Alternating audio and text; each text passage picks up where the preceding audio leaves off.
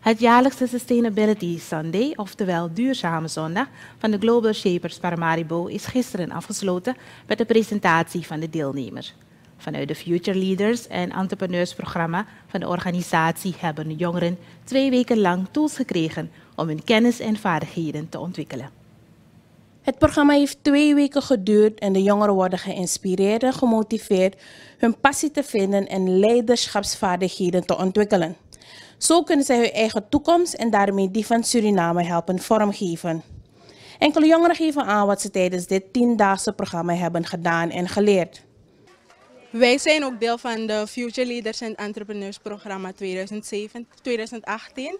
En dit zijn namelijk spullen gemaakt, kledingstukken gemaakt en ook tassen van recyclebaar materiaal. Dit is een topje gemaakt van rietjes. En ook nog krantenpapier. Dan heb je hier een tas van Fernandes zakjes. En verder hebben we nog een tas van krantenpapier, een vaas en ook nog een mandje. Wij streven ernaar een platform te creëren voor de artistieke Suriname. Omdat wij erin geloven dat wij internationaal kunnen gaan met ons Surinaams talent. Alles hier is gedaan door ons. Al die schilderijen zijn gedaan door onze kunstenaar, um, Shafore Esaias. En die tekeningen daarboven zijn gedaan door mijn zusje, Rashandra McAndrew.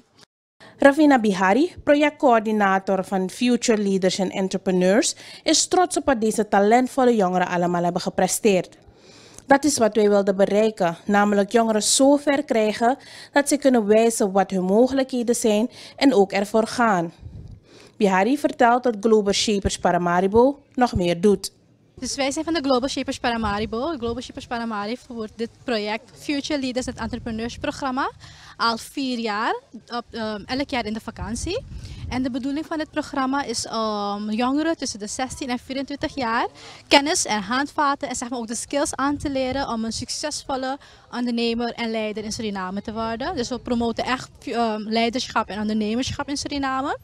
dit doen we door tien dagen lang. Uh, van 8 tot 4 uur sessies te geven aan de participanten over, um, over leadership, over marketing, management, maar ook de zachte factoren zoals um, zelfpresentatie, zelfreflectie, schrijven. En ook dan doen ze ook nog, nog uh, bedrijfsbezoeken waarbij ze dan de echte praktijklessen leren kijken hoe het in de praktijk toegaat in de bij de bedrijven. Dus dat is de bedoeling van het uh, Future Leaders and Entrepreneurs programma. En vandaag mogen de participanten op onze Sustainability Sunday um, hun eigen ideeën pitchen aan het publiek.